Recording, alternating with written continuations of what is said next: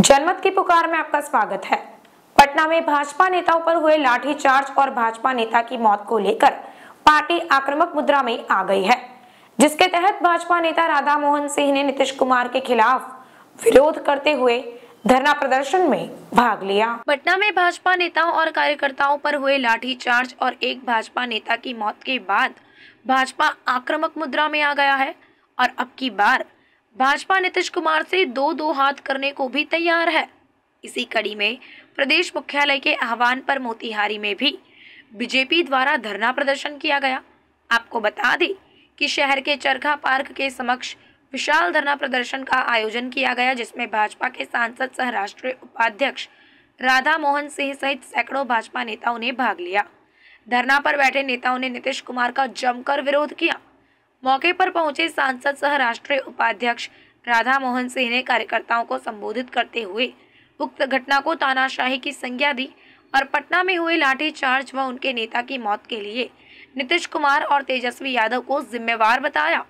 साथ ही कार्यकर्ताओं को ये शपथ दिलाई कि जब तक इस निर्कुश शासन का अंत नहीं करते हैं, तब तक भाजपा का कोई नेता या कार्यकर्ता चैन से नहीं बैठेगा।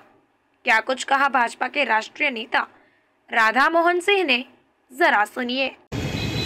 मैं लखनऊ के कार्यक्रम में था। कार्यक्रम में हमारे एक सहयोगी ने वीडियो दिखाया कि किस प्रकार से बर्बर अत्याचार हो रहे थे। लाठियाँ चलाई जा रही थी हमारे अध्यक्ष पर भी, हमारे नेता पर भी, हमारे कार्यकर्ता पर भी। एक बात आपने कहा कि हम डाक बंगला से आगे नहीं जाने देते। हैं लेकिन डाक बंगला के पहले भी जो हमारे कार्यकर्ता थे, जो इधर उधर से आ रहे थे, उन पर भी लाठियाँ चलाई गई और इसी में हमारे विजय सिंह की हत्या हुई और इसके खिलाफ आज पूरे बिहार में हम धरना दे रहे हैं, हम श्रद्धांजलि अर्पित कर रहे हैं। और इतना ही नहीं तो हमारी मांग है, पहली मांग तो यह है कि आपने कहा था कि 10 लाख को हम नौकरी देंगे। सरकारी नौकरी देंगे। ये आपने ऐलान किया था कि हम शपथ लेते ही पहले कैबिनेट में इस काम को करेंगे। इसका जवाब मांगने के लिए उस दिन भी हमारे कार्यकर्ता गए थे और आज भी हम इस मांग को दोहराते हैं। और जो हमारे बिहार के छात्रों में योग्यता है, क्षमता है, एक तो मिसाइल नीति को आप समाप्त करिए और बिहार के नौजवानों को रोज़गार का अवसर मिले। और जो शिक्षक हमारे इतने दिनों से पढ़ा रहे हैं, उनकी योग्यता को मान्यता दीजिए, उनको राजकर्मी का मान्यता दीजिए। ये मांग हम उस दिन भी किए थे और आज भी कर रहे हैं और मुझे विश्वास है कि आपको मज़बूत होना पड़ेगा। कोई भी शासक जब जन विरोधी काम करता है और जन आक्रोश का प्रकटीकरण होता है तो निश्चित रूप से उस सत्ता का विनाश निश्चित है। तो मुझे पूरा विश्वास है कि आपका विनाश निश्चित है। दूसरा कि आप मुख्यमंत्री जीवन में कभी नहीं बनते। आप जितनी बार मुख्यमंत्री बने हैं, भारतीय जनता पार्टी के कारण बने हैं। और आपका चित्र पूरे देश में बड़ी दूर आपका हो गया है। आपके गठबंधन के एक नेता ने मोबाइल पर संदेश दिया कि बताओ देश के लोगों कि देश में सबसे अविश्वसनीय नेता कौन है? ये बात हम लोग के पार्टी के लोगों ने नहीं पूछा था।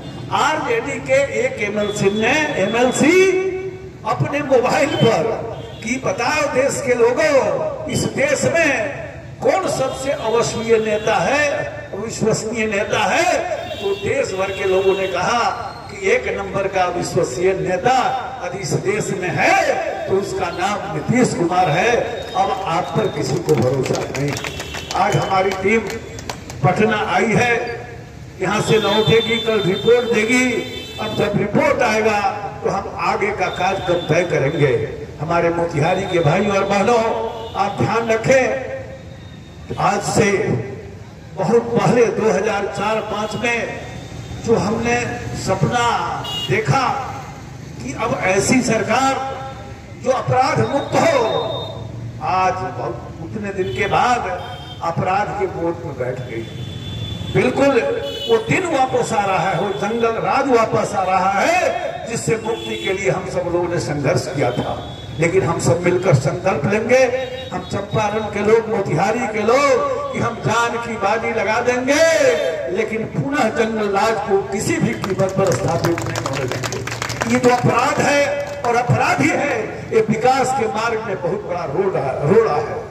और जब तक भारतीय जनता पार्टी का एक भी कार्यकर्ता बचा रहेगा, अपराध और अपराधी से किसी भी प्रकार का समझौता नहीं कर सकते। जिन राज्यों में हमारी सरकार है, जिन राज्यों में हमारी सरकार है, वहाँ विकास क्यों हो रहा है? इसलिए कि अपराधियों के साथ कोई मरम्मत नहीं है। हमारे पार्टी के भी किसी भी पार्टी के हैं तो हम अपराधियों से समझौता नहीं करते। और बिहार को आज नीतीश कुमार और तेजस्वी की सरकार बिल्कुल अपराधियों के गोद में, दिन में बात होती है प्रशासन की और रात में बात होती है अपराधियों की। हमारे जो पुलिस के लोग हैं, उनको हम पर लाठी चलाने के लिए आप छूट दे रहे हैं, आदेश दे रहे हैं।